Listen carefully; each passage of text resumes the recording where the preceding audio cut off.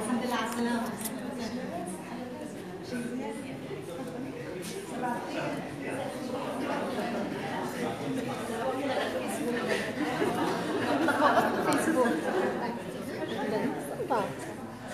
كده انت لاباس كده مع الصحة مفاجأة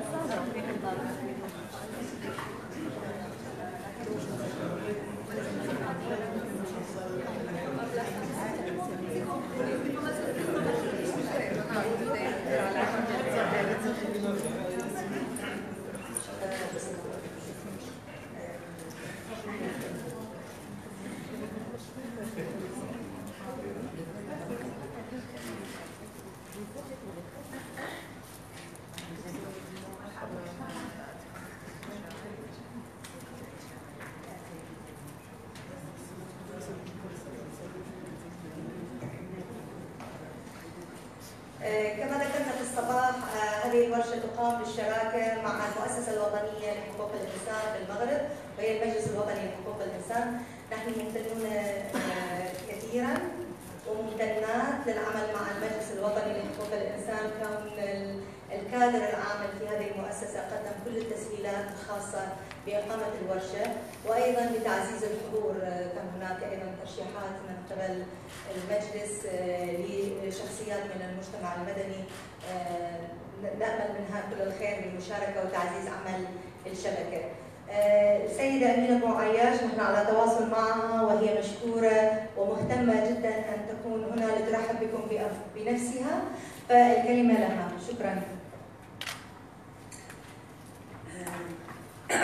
صباح الخير للجميع اولا لابد من الترحيب بالسيده انسان مكسب فوق السن وهي عدد من الوجوه الشابه اعرفها وكذلك وجوه شابه من المغرب ومن كل مناطق المملكه ومن المنطقة بطبيعه الحال نلتقي اليوم مجددا مع مكتب المفوض السامي لحقوق الانسان والمجلس الوطني لحقوق الانسان آخر. يهم مجال الضوء اخر كبير على حقوق النساء كمدافعاتها وهي مناسبة لا تفوتني كما تفضلت السيدة أنسام من أن أعبر عن اعتزازنا بالمجلس بالتعاون البناء والفعال الذي يجمعنا مع شريك استراتيجي بالنسبة للمجلس الوطني وهو التعاون كذلك الذي نسعى دائما إلى تطويره هذا هذه الورشة اليوم التي هي الأولى من نوعها. إن التنظيم المشترك الزميلات والزملاء يأتي مباشرة بعد ورشة أخرى. كانت بالرباط. وهي لا تقل أهمية من هذه اليوم حول قانون محاربة العنف ضد النساء في المغرب.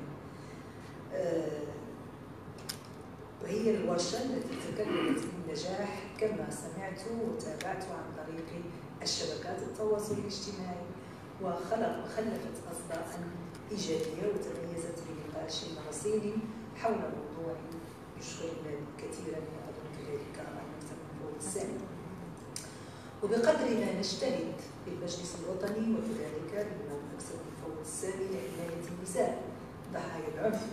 بقدر ما نكون معنيين بدرجة أساسية بالفاعلات في مجال حقوق الإنسان. فالموضوع اليوم يكتسي أهمية خاصة ليس بالنسبة لمنطقتنا فحسب ولكن بالنسبة للعالم بأسره. اعتبارا للدور المحوري الذي يلعبه أكثر فأكثر المدافعون عن حقوق الإنسان نساء ورجالا كما نرى اليوم في هذه الورشة في تعزيز حقوق الإنسان وحمايتها. وبالأساس الإبلاغ عن الانتهاكات التي قد إن البيئة الحاضنة لعمل المدافعات والمدافعين عن حقوق الإنسان لا تكون آمنة ولا مساعدة لهن ولهم على القيام بالأدوار المفضلة حيث إنهم يتعرضون ويتعرضن لانتهاكات قد تمس أسمى حق من حقوق الإنسان وهو الحق في الحياة. وحسب المقرر الخاص كما تعلمون في سنة 2017 شهدت لوحدها مقتل أزيد من 1100 مدافع ومدافعة عن حقوق الإنسان وهي وضعية تجعلنا نحن في مناطق كهذه وفي بلد كالمملكة المغربية نستشعر كذلك خطورة الوضع وآثاره المواكبة وضرورة حماية هؤلاء الفاعلين. حضرات السيدات والسادة السيدة أنسان إن المصاعب والمعيقات التي تعترض المدافعات والمدافعين عن حقوق الإنسان لا تنضب ولا تتقلص بل تتطور وتتمدد وتتشعب. وتم التأكيد على خصوصية أوضاع المدافعين والمدافعات على كل على حدة حيث تختلف المخاطر التي يواجهها كل واحد منهم. حسب هويته وروابطه الأسرية ونوع الجنس والطبقة الاجتماعية التي ينتمي إليها والعرق وغير ذلك من المتغيرات والعوامل الاجتماعية التي تؤثر على الحالة الخاصة للأفراد ومما يزيد في تفاقم تعقيد وضع المدافعات عن حقوق الإنسان ما يتعرضن لهن من تسفيه لعملهن والتشكيك فيه. ناهيك عن الخلط الذي يقع أحيانا ونراه أكثر فأكثر بين ما هو سياسي وإيديولوجي بغطاء الحقوق. إن هذه العراقل تجعل مسألة توفير الحماية لهم أمرا ضروريا مستعجلا يتطلب بالضرورة وضع استراتيجيات بعيدة المدى لكننا أيضا في وضع استعجالي يفرض تحديد أولويات على المدى القصير والمتوسط. وضمن ثلاثة نقط أساسية هي تحسين الإطار القانوني وملائمته مع المعايير الدولية وتعزيز الآليات الحمائية المؤسساتية والنهوض بثقافة حقوق الإنسان.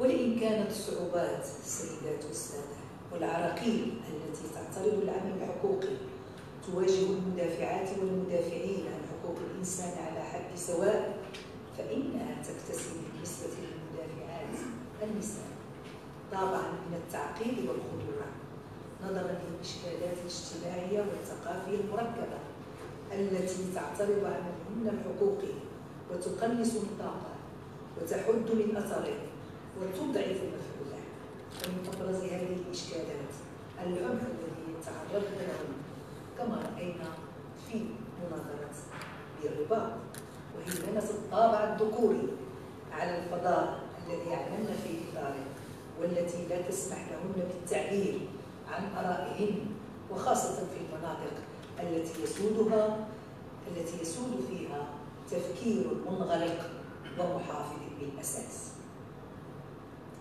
وإذا كان الفعل الحقوقي يعرف على المستوى الدولي أزمة تفعيل فإن المدافعات عن حقوق الإنسان يأتين على رأس قائمة ضحايا هذا التراجع بسبب ما يتعرضن لهن من تشجير ومس بالكرامة والشرف ومن تهديد للحق في الحياة والسلام.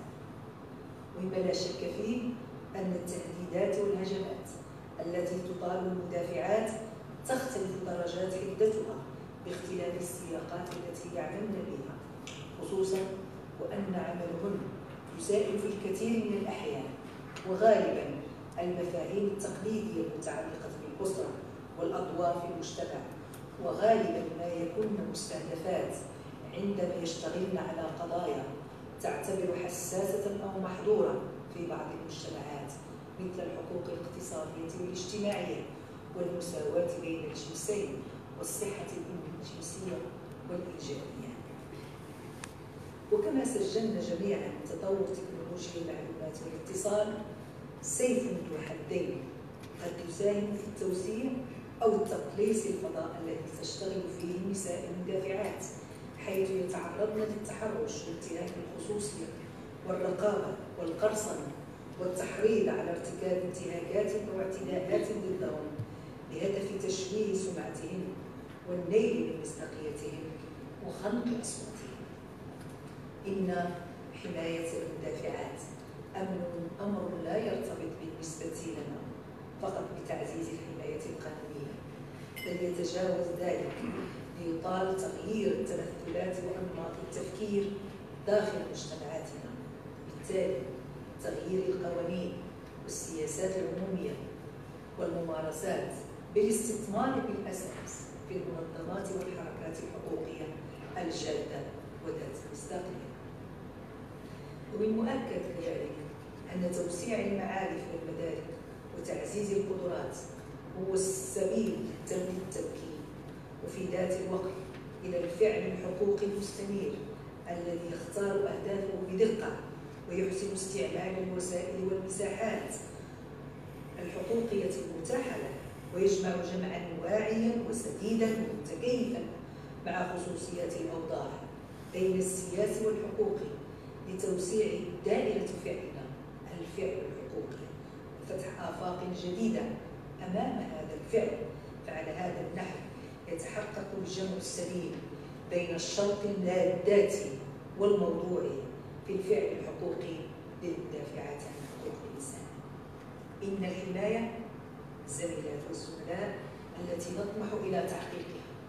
لا بد أنها تكتسي طابعا استراتيجيا وأنها تندرج ثم في إطار الخطط الاستراتيجية الواعية لغاياتها والتي يتم تبنيها على جميع الأصعدة إن هذه الحماية تمر بالضرورة عبر تعزيز القدرات بما يكفل رصدا موضوعيا ومهنيا دقيقا للانتهاكات التي تطالب المدافعات والمدافعين عن حقوق الإنسان. بقدر ما تتلازم والتفكير في الإجراءات الكفيلة بتعزيز البيئة الملائمة للدفاع عن الحقوق وتبني تدابير الحماية تتوخى الوقاية في المقام الأول وتحفيز المبادرات الرامية إلى تعزيز الالتزام مؤسسات ودعم بناء جهود الشبكات الاجتماعية. لا بد ونحن نتبادل هذه الأفكار بخصوص المدافعات وعملها. أن نذكر بأن المؤسسات الوطنية في العاملة في مجال حقوق الإنسان فقد مرت سنة على الإعلان مراكش حول توسيع الفضاء المهني وتعزيز مدني وتعزيز قدرات المدافعين والمدافعات عن حقوق الإنسان وحمايتهم وهي وثيقة تترجم التزامات المؤسسات الوطنية إلى جانبكم وجانبكم. للدفاع وتعزيز هذه الحماية.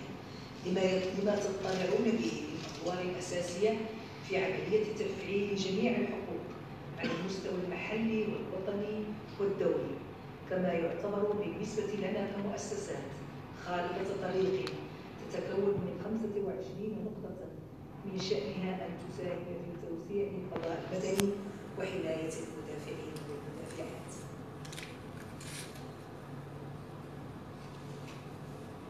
ويعمل المجلس الآن في إطار الشبكات المؤسسات الوطنية خاصة الإفريقية لحقوق الإنسان على تتبع تنفيذ توصيات هذا الإعلان. كما تقوم هذه الشبكة بجمع البيانات من المؤسسات الوطنية واستثمارها في دراسة سوف تركز على وضع المدافعين عن حقوق الإنسان سنة بعد إعلان مراكش وانطلاقا من دوره باعتباره ضميرا حقوقية حقوقيا للدولة.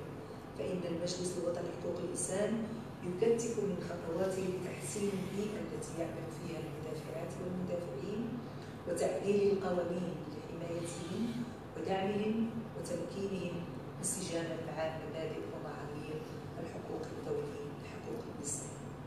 كما يعمل على تعزيز قدراتهم سواء كما تعكس بذلك برامج معهد الرباط بريس الذكري لحقوق الإنسان. كما أننا بصدد كذلك دراسة شراكات مع فاعلين دوليين لتقوية وتقوية قدرات المجتمع المدني والفاعلين في هذا المجال خاصة في مجال حقوق المرأة. وعيا منا بأن هذه الحقوق تكتسي بالضرورة طابعا عرضانيا أي أنها ترتبط بجميع حقوق الإنسان. وتعتبر بمثابة شرط وجود لتحقيقها في مواجهتنا جميعا للعراقيل كفاعلين في المجال الحقوقي أحيانا ذات طابع قانوني أو سياسي أو ثقافي أو غيرها. فإننا كمدافعين نتسلح دائما بالامل الممزوج بالعمل التشاركي والدأب فتاريخ الحقوق هو في المقام الأول. تاريخ تاريخ عمل متواصل لبناء تحالفات وشبكات مستدامة كما هي اليوم هذه الورشة على المستوى الإقليمي أحيانا والوطني أحيانا أخرى من أجل تبادل الممارسات الفضلى والخبرات وتوطيد العلاقات مع جميع الفاعلين المعنيين إننا ولا شك سواء بالمجلس الوطني أو بمكتب المفوض السامي نستمع ونلتقط الإشارات الدالة لعملكن وعملكم حتى نتمكن نحن كذلك من إبداع سبل جديدة تمكننا من إيجاد صيغ لتكريس توكلية حقوق الإنسان في مجتمعاتنا. وسنكون منتبهين لتوصياتكم ومقترحاتكم خلال هذه الورشة فمتمنيات لكم بالتوفيق في أشغالكم شكرنا الجزيل سيدة أمينة آه، بصراحة كلمة رائعة جدا. آه، أضاءت على آه، أغلب أهداف وتصدت لأهل موضوعات الورشة بشكل رائع وجميل وأبطرت أيضا يعني توجهاتنا للأيام القادمة. وبهذه المناسبة أحب أن أقول لك ولحضرتك والحضور تحيات السيدة رويدة الحاج الممثلة الإقليمية للمكتب المفوض السامي في شمال أفريقيا والشرق الأوسط وتعتذر شديد للأسف لم تستطع الحضور بسبب انشغالات أخرى طارئة لكنها آه، كانت حريصة على أن تكون حاضرة على الأقل بكلماتها. فأنا بالإنابة عنها أرحب بكم وألقي لكم آه، ولكن كلمتها. تقول السيدة رويدة إنه لشرف عظيم أن أنضم إليكم في ورشة العمل بعنوان نحو حماية قانونية لعمل المدافعات والمدافعين عن حقوق المرأة. المنظم بإطار شراكة مكتب المفوضية السامية لحقوق الإنسان مع المؤسسات الوطنية ومنها المجلس الوطني لحقوق الإنسان في المغرب. أود أن أبدأ بشكر جميع زملائي في الأمم المتحدة الذين عملوا على تعزيز قضية المدافعات عن حقوق الإنسان وحمايتهن وخاصة الزملاء في المكتب الإقليمي لمنطقة الشرق الأوسط وشمال أفريقيا وفرع الشرق الأوسط وشمال أفريقيا في المقر الرئيسي في جنيف ومركز الأمم المتحدة للتدريب والتوثيق في مجال حقوق الإنسان آه، غرب آسيا والمنطقة العربية والذي يدعى بالدوحة مركز الدوحة. كما أود شكر فريق العامل المعني بمسألة التمييز ضد المرأة في القانون والممارسة والمقرر الخاص المعني بحالة المدافعين. حقوق الإنسان. بعد مرور عقود من الزمن دفاعا عن حقوق النساء أصبحت المرأة تتمتع في الكثير من الأماكن بقدر أكبر من المساواة. بما في ذلك في أمام القانون وفي الحياة السياسية وفي مجال التعليم وأماكن العمل وفي إطار الزواج والحياة في المنزل. وبفضل المدافعين والمدافعات عن حقوق المرأة يتمتع عدد متزايد من النساء في التصويت، الحق في التحكم بجسدهن، الحق في الخصوصية، والحق في الحياة الأسرية، والحقوق الجنسية والإنجابية والعديد من الحقوق الأخرى. ومع هذا لا يزال الكثير من المدافعات عن حقوق الإنسان يواجهن مخاطر كبيرة في ممارسة نشاطهن. تتعرض المدافعات عن نفس أنواع المخاطر التي يتعرض لها أي مدافع عن حقوق الإنسان. لكن المدافعات عن حقوق الإنسان يواجهن أيضا في أحيان كثيرة مخاطر وعقبات إضافية ومختلفة وذلك بسبب التنميط الجنساني في المجتمعات الراسخ والأفكار والقواعد المتجذرة بشأن من هي المرأة وكيف ينبغي لها أن تكون أو تتصرف. هناك أنواع من العنف والاضطهاد تتعرض له المدافعات عن حقوق الإنسان والنشاطات على الإنترنت وهذا ما ذكرته السيدة أيضا أمينة ابو عياش. وهذه الأشكال الجديدة من المضايقات والترغيب والتشهير المتكررة بشكل مروع وهي مرعبة في كثير من الأحيان. تستخدم تهديدات الموت والتهديدات بالعنف الجنسي والجنساني وحملات التشهير والتضليل على الإنترنت لتعذيب النساء اللواتي يتحدثن علنا ويروع عنها علنا. تهدف أيضا الحملات عبر الإنترنت ضد المدافعات والمنظمات النسائية عن حقوق الإنسان إلى الإضرار بمصداقيتهن كمدافعات وتقليص أو طمس قوة صوتهن وتقييد المساحة العامة المحدودة التي يمكن للمدافعات العمل وحدات تغيير فيها. إن الأسباب الكامنة وراء استهداف المدافعات عن حقوق الإنسان متعددة الأوجه ومعقدة. وتعتمد على السياقات المحدده التي يعملن فيها وكثيرا ما ينظر إلى المدافعات عن حقوق الإنسان باعتبارهن يتحدين المفاهيم التقليدية للأسرة والأدوار المحددة بحسب بحسب الجنس في المجتمع وهو تصور يمكن أن يولد العداء من طرف الجهات الحكومية والجمهور العام ووسائط الإعلام وسائر الجهات ويمكن أن تعرضنا للوصم والنبذ من قبل قادات المجتمعات المحلية والجماعات الدينية والأسر والجيران والمجتمعات المحلية من منطلق الاعتقاد أنهن وأعمالهن يشكلن تهديدا للدين أو الشرف أو الثقافة أو أساليب الحياة. وكثيرا أيضا ما لا ينظر إلى المرأة باعتبارها من عناصر التغيير وإنما كشخص ضعيف أو ضحية بحاجة إلى حماية الآخرين. ولكن يكفي أن نشير إلى شبكة المدافعات عن حقوق الإنسان من المنطقة العربية كدليل لإثبات أن النساء قويات وقادرات ولا ترغب في الوقوف جانبا بينما يناضل الآخرون من أجل حقوقهن ويكفي أن ننظر إلى التزامهن خلال الدورات التدريبية السابقة التي ذكرتها حول آليات رصد وتوثيق انتهاكات حقوق الإنسان ورصد مرافق الاحتجاز ورصد المحاكمات وفقا للمعايير الدولية لحقوق الإنسان. ونشير إليهن أيضا خلال هذا النشاط حيث سنركز على نهج جديد صمم لتمكين المدافعات والمدافعين عن حقوق المرأة على الاستخدام الفعال لنظام الشكاوي داخل الآليات الدولية لحقوق الإنسان وأقدر الجهد الذي بذل للوصول إلى هذه المرحلة. فلا توجد طرق مختصرة لإقامة حركات متنوعة وجامعة وقوية للمدافعات عن إذا يتطلب ذلك التخلص التام من التنميط الجنساني الضار ووضع تصور جديد ومختلف اختلافا جذريا للعالم. كما يتطلب ذلك تحليلا متعدد الجوانب لعلاقات القوة وتوضيح المخاطر والعقبات التي تواجهها المدافعات عن حقوق الإنسان في الحيز المتاح لهن ويجب على كل شخص أن يستطلع القوالب النمطية الجنسانية الضارة وأن يفكر في الكيفية التي تؤثر آه، بها التوقعات وأشكال التحيز والأعمال الواعية واللاواعية في حقوق وحريات المرأة في شتى الظروف. واغتنم هذه الفرصة للتأكيد على حق أي شخص بان يقوم بالدفاع عن حقوق الإنسان الواجبة للمرأة من جميع جوانبها. وأشدد على أهمية الدور الذي تقوم به المدافعات عن حقوق الإنسان في تعزيز وحماية حقوق الإنسان والحريات الأساسية المكفوله لكل إنسان بدون تمييز. بما في ذلك دورهن في التصدي لانتهاكات حقوق الإنسان بجميع أشكالها ومكافحة الإفلات من العقاب ومحاربة التمييز وتعزيز إمكانية اللجوء إلى القضاء وتعزيز الديمقراطية ومشاركة المرأة الكاملة في المجتمع واحترام كرامتها الإنسانية.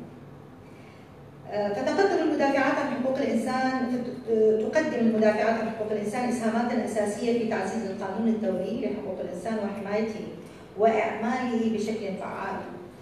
ويؤدين أيضا دورا مهما في زيادة الوعي وحشد المجتمع المدني في تحديد انتهاكات حقوق الإنسان والمساهمة في تطوير حلول حقيقية تتضمن منظورا جنسانيا أما استخدام التعبير الفني كوسيلة للدفاع عن حقوق الإنسان والتعبير عن القضايا الاجتماعية فله قيمة خاصة بالنسبة لي المتحدثة هنا رويدا لأنه كان الفن الذي ألهمني للعمل في مجال حقوق الإنسان. آه، فقط آه، للتنويه أن السيدة رويدة الحاج لديها ماجستير في الفن تاريخ الفن وعملت في تدريس الفن قبل أن تلتحق بالعمل آه، الحقوقي وأن تبدأ مشوار عملية يعني المهني كناشطة وكموظف حقوق إنسان في الفوضية السامية لحقوق الإنسان. تدرجت من أماكن عديدة بدأت في في المقر الرئيسي انتقلت للعمل في أفغانستان في العراق في ليبيا في المنطقة العربية وحتى خارج المنطقة العربية. لكن دائما كان همها أيضا الفن وكيف إنه نوصل رسائل حقوق الإنسان بطريقة أكثر فعالة. فمنها ومني لكم كل التحيات وكل الشكر للسيدة أمينة على وجودها معنا وجودها أيضا يعطي زخم كبير أيضا يعزز هذه الشراكة والعلاقة والتشبيك ما بين المؤسسات الوطنية والمجتمع المدني كون المؤسسة الوطنية هي آه، يعني احدى القنوات التي يستخدمها المجتمع المدني لإيصال الشكاوى الخاصة بالانتهاكات. فنشكر لها الحضور ونشكر لفريقها أيضا العمل معنا وسيدة ملك راح تكون معنا طول الورشة آه، وندعوكم الآن لبريك آه، للتشبيك والحديث مع السيدة أمينة ومع